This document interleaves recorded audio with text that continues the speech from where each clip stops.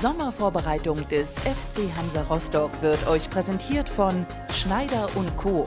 Klempnerei, Sanitär, Gas und Heizung. Bis jetzt äh, ist alles sehr gut gelaufen und äh, bin sehr zufrieden. Die Bedingungen sind top, Wetter. Die Jungs ziehen richtig mit. Also äh, das heißt, äh, kann hoch zufrieden sein. Bis jetzt, was wir, was wir trainieren wollten, haben wir das auch umgesetzt und ähm, hoffe, dass auch bis zum letzten Tag, dass wir verletzungsfrei bleiben und dass wir jetzt auch diese zweite Etappe von der Vorbereitung sauber durchziehen. Was ist denn wichtig, wenn man jetzt daran denkt, Belastung, wie steuert man das und wie würdest du allgemein den Fitnesszustand der Mannschaft einschätzen? Ähm, aktuell sind natürlich die Beine ein bisschen schwer bei den Spielern, muss man auch sagen. Ähm, gestern äh, der eigentlich regenerative Tag war schon anstrengend mit dem Lauf morgens und der etwas längeren Fahrradtour. Ähm, waren die Beine heute Morgen schwer, aber im Allgemeinen guter Fitnesszustand von allen. Heute noch ein paar Laufeinheiten ähm, mit eingestreut ins Vormittagtraining, jetzt am Nachmittag eine Spielform. Ja, wir sind auf einem guten Weg. Äh, wie gut tut denn so eine Abkühlung in der Ostsee? Ich habe gesehen, du bist heute Mittag auch als mit Erster da reingesprungen. Ja, war super erfrischend. Äh, zu Beginn ein bisschen, bisschen kühl, aber sobald man drin ist, bei dem Wetter hervorragend. Heute Nachmittag hieß es dann wieder Belastung für dich. Du hast mit Dirk Olleshausen eben Tennis gespielt. Erste Frage, wichtigste Frage, wer hat gewonnen und wie ist dein Fitnesszustand beim Tennis? Äh, Dirk hat gewonnen an Erfahrung vor allen Dingen. Ähm, ja, Fitnesszustand. Ich musste erstmal wieder reinkommen. Der erste Satz äh, war ein bisschen schwierig vom Timing, die Bälle nicht richtig getroffen. Ähm, zweiter und dritter Satz ähm, war dann völlig in Ordnung. Samstag geht es dann mit Pavel weiter.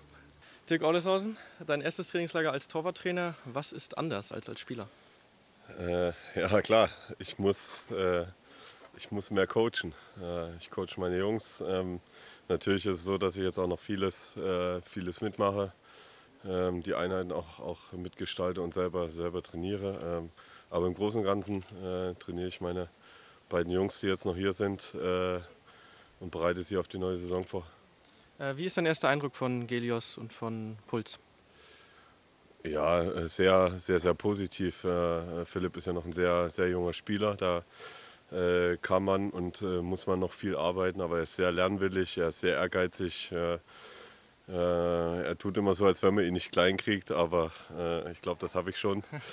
Ähm, Janis ist sehr, ein sehr, sehr selbstbewusster Torhüter, der ähm, auch trotz der, der äh, wenigen Spiele, die er gemacht hat, eine große Sicherheit ausstrahlt, eine Fangsicherheit, ist sehr gut mit dem Fuß.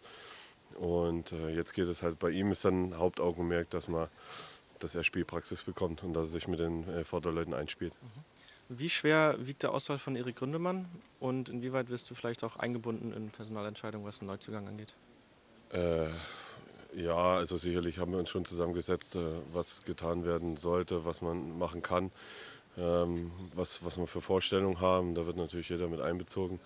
Ähm, aber das sind dann mehr oder weniger nur Tipps äh, von mir. Klar, und der Ausfall ist natürlich, ist natürlich sehr, sehr bitter, weil er auch äh, letztes Jahr sich gut entwickelt hat. Ähm, und jetzt halt so ein, so ein Nackenschlag, gerade im ersten, im ersten Freundschaftsspiel in der Erwärmung, ist natürlich umso bitterer. Aber ich habe schon äh, mit ihm gesprochen, ich bin mit ihm in Kontakt und ähm, er, ist, er ist so stark, er ist auch vom Kopf her so, so stabil, dass er, dass er durch diese schwere Zeit äh, durchgeht und äh, wir ihn dann natürlich, wo es geht, wenn er Hilfe braucht, ihn unterstützen, äh, dass er dann umso stärker wieder zurückkommt. Wie sind die Bedingungen? Sind wir alle glücklich? Was halten die Spieler vom Hotel und wie sind die Trainingsplätze in Barbe? Ja, ich glaube, ihr seht es ja selber, dass die Bedingungen hier optimal sind. Äh, wir haben schönes Wetter, wir haben ein super Hotel, wir haben einen sehr guten Trainingsplatz und ich glaube, viel mehr kann man von einem Trainingslager nicht verlangen. Und auch die Gegend bietet sich ja an für Fahrradtouren, oder? Ja, das war eine schöne Tour gestern äh, und ich glaube, das hat den Spielern auch sehr viel Spaß gemacht. Sie haben ein bisschen was von der Insel gesehen, waren äh, nebenbei noch aktiv, mussten sich auch ein bisschen anstrengen, die Berge hochzufahren und rundherum war das eine gelungene Aktion.